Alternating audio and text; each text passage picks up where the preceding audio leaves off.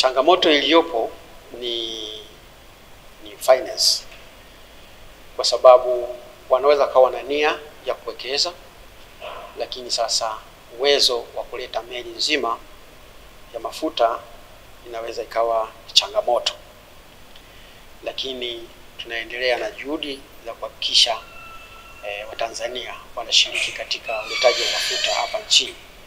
Kwa maana gani? Moja, tumeshirikisha benki za hapa ili ziangalie uwezekano wa pasipoti makampuni ya hapa ili aweze kuleta mafuta. E, pili, eh, tumereview mikataba, tumepitia mikataba upya ya kuweka masharti, kupunguza masharti katika uh, uletaji wa mafuta kwa kampuni ambazo zinatoka zina, ni za hapa nchini. Vile vile tumeongea nao kuwa kuwa kuwa kuwa kuwa kuwapa awareness ya nini kinatakiwa kifanyike katika ushiriki wa uletaji mafuta katika kupitia mfumo wa bulk procurement system. Sio kwamba washiriki, ni kwa sababu huwezi haya mafuta yanayoletwa na nchi nyingine hizi hizi tunaoita masuppliers kama wanaoshindana huko sasa hivi hawawezi kuleta mafuta bila ushiriki wa makampuni eh, ya hapa nchini, kwa sababu lazima hao ndo waseme tunahitaji mafuta kiasi gani, ili tuweze kuambia wale waweze kuleta mafuta. Lakini vile vile tunaendelea kuwahimiza ikiwezekana waweze kuungana wakati fulani eh, wana waweze kuungana ili waweze kuagiza meli kwa pamoja. Unaweza kampuni mbili au tatu zikishirikiana, tunaweka utaratibu ambao sasa wanaweza kaja kwa bulk procurement system wakashindana na makampuni mengine ambayo yana uwezo wa kifedha. Lakini kuna kitu kinaitwa bank syndicate. Hizi benki zinaweza zikaungana nazo kuongeza nguvu ili ziweze kusupport makampuni yenye nia na uwezo wa kuagiza mafuta kupitia mfumo wa uagizaji kwa pamoja kwa maana ya bulk procurement system. Zoezi linaloendelea sasa hivi ni la kumpata mzabuni atakayeleta mafuta hapa nchini kwa mwezi wa Machi. Makampuni yaliyoshiriki katika hili zoezi la kumpata mzabuni yako nane e, ambayo ni Trafigura, Totsa, Adaxi, Sahala, vito Gulf Petrochem, Garana na kampuni nyingine inaitwa Augusta Energy. Kiwango cha mafuta ambacho tunatarajia kiingie nchini kwa mwezi Machi ni tani laki tatu na elfu sabini. Kiwango hicho kimepanda kwa asilimia tano ukilinganisha na mafuta ambayo tunatarajia yaingie nchini kwa mwezi Februari. Kwa maana ya mafuta ya petroli yameongezeka kwa asilimia kumi na sita ikilinganishwa na mafuta ambayo yataingia kwa mwezi Februari. Kwa mafuta ya diesel yamepungua kwa kiwango cha asilimia saba.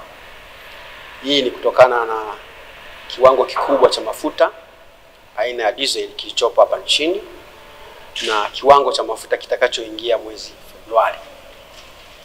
Mafuta ya ndege yameongezeka kwa asilimia arobaini na sita na mafuta ya taa yako vile vile kama ilivyokuwa mwezi Februari. Viwango hivi vya mafuta vinazingatia uh, takwimu za matumizi eh, ya kila aina ya mafuta hapa nchini ambayo nilikuwa na ripoti mara kwa mara, lakini ni vizuri nikairudia kwamba matumizi yetu kwa mafuta aina ya petroli ni lita milioni tatu nukta sita kwa siku. Matumizi ya nchi kwa mafuta aina ya diesel ni lita milioni tano nukta moja kwa siku. Matumizi ya nchi kwa mafuta aina ya Jet A1 mafuta ya ndege ni lita laki tano na elfu tisini. Matumizi ya mafuta kwa mafuta, mafuta ya taa kwa siku ni lita laki moja na elfu arobaini na saba. Sasa tukiangalia mafuta ambayo nimesema yanaagizwa kwa mwezi wa wa tatu ambayo zoezi linaendelea e, kama nilivyosema awali kwamba ni tani laki tatu na elfu sabini. Katika uh, kiasi hicho cha mafuta asilimia hamsini na tisa yatatumika hapa nchini na asilimia arobaini na moja ni transit, kwa maana yanaenda kutumika kwenye nchi jirani ambazo zinapitisha mafuta katika bandari yetu. Jumla ya meli nane za mafuta zinatarajiwa kupokelewa katika bandari zetu, na meli hizo kati ya meli tano ambazo zitakuwa zimebeba mafuta aina ya petroli zenye wastani wa kubeba takriban tani thelathini na moja elfu zitashuka katika gati la Kurasini, wanaliita Kurasini Oil Jet au kwa kifupi wanaita KOJ.